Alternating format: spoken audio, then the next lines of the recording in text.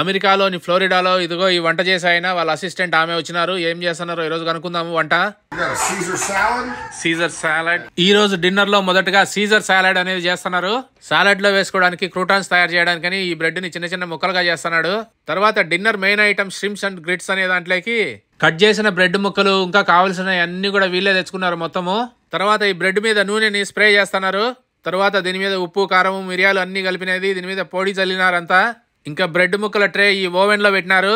తర్వాత సాలడ్లో వేసుకుంటే క్రోటాన్స్ మీద ఏదో వాళ్ళు తెచ్చిన పొడి అంతా చల్లినారు. తర్వాత పార్స్లీ అని కొత్తిమీర లాంటిది చల్లినాడు. తర్వాత ఆలివ్ ఆయిల్ వేసినాడు. ఇంకా మనకి కరోనా రాకుండా చేతులకి గ్లౌజులు వేసుకొని తిప్పినారు. మీరు వంట చేసే మనుషులను చూడడం ఆపేసి వంట ఎట్ట చేస్తున్నారో చూడండి నా మాదిరిగా. తర్వాత ఇదేదో చీజ్ లాంటిది చల్లినాడు.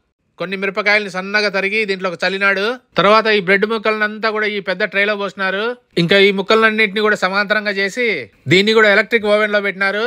కరకరలాడే ఈ పెద్ద బ్రెడ్ చిన్న బ్రెడ్ అన్ని కూడా రెడీ అయిపోయినాయి. అబ్బా ఈ వేడివేడిగా ఉండే బ్రెడ్ ముక్కలను చూస్తుంటే ఆయన అట్ట తిరిగినప్పుడు దొంగతనంగా పోయి రెండు నోట్లు వేసుకోవాలనిపిస్తుంది. అదే కనుక ఇది మా ఇంట్లో తింటే మా అమ్మతో తిట్టిపించుకోనైనా పోయి తినేవాన్ని ఈ రోజు వీళ్ళు ముప్పై మందికి వంట చేసి వడ్డించబోతున్నారు. ఈ ప్లేట్లు గ్లాసులు కప్పులు అన్ని కూడా ఇంట్లోనే ఉన్నాయి ఈ వెకేషన్ హోమ్లోనే. ఈ ప్లేట్లు కాక వాళ్ళు మళ్ళా కొన్ని ప్లేట్లు తెచ్చినారు సపరేట్గా ఒక ట్రే నిండా రొమైన్ లెట్యూస్ తెచ్చుకున్నారు. ఈ లెట్యూస్కి తలా తోక కత్తిరించి ఈ లెట్టూస్ని ప్లేట్లో ఎట్ట డెకరేట్ చేయాలని ఈ అమ్మాయికి చూపిస్తున్నాడు. మనం తినబోయే తిండి మన కళ్ళకి చాలా ఆహ్లాదాన్ని కలిగించాలి కాబట్టి ప్లేట్లో డెకరేట్ చేయడం అనేది చాలా చాలా ముఖ్యమైన విషయము. What sauce is that? Dressing. Okay. ఇది సీజర్ సాలెడ్ డ్రెస్సింగ్ అంట. ఈ లెటూస్ మీద ఇట్లా నలభై ఐదు డిగ్రీల యాంగిల్లో పోయాలంట. ఇదిగో ఇవి కీరకాయ ముక్కలంట.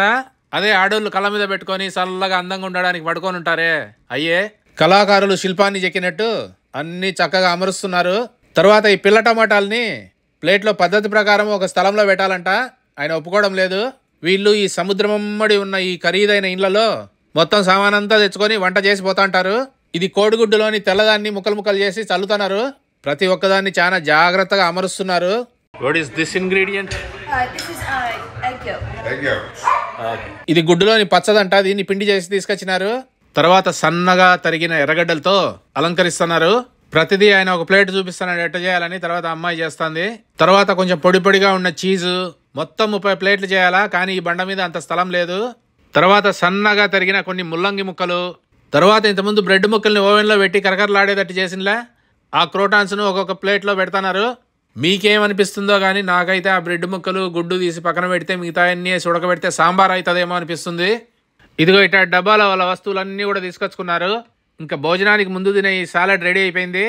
ఈరోజు వంట చేసే కార్యక్రమం లేదు కాబట్టి ఈ బీచ్ దగ్గర పోయి వీళ్ళంతా ఆడుకొని మళ్ళీ ఎన్నికోసారి ఆకలికొని ఇంకా ఈ సాలడ్ని బీచ్ని చూసుకుంటా తింటానారంతా అప్పుడే అయిపోయింది అనుకుంటున్నారేమో. అసలు మెయిన్ తినాల్సిందంతా ఇంకా ఇప్పుడు మొదలైతుంది. ఆ తిండి వీడియో వచ్చే లోపల ఈ ఖరీదైన ఇంటినంతా కూడా మొత్తం టూర్ చేసినాను. ఆ వీడియో ఏడుంది ఇది చూడండి.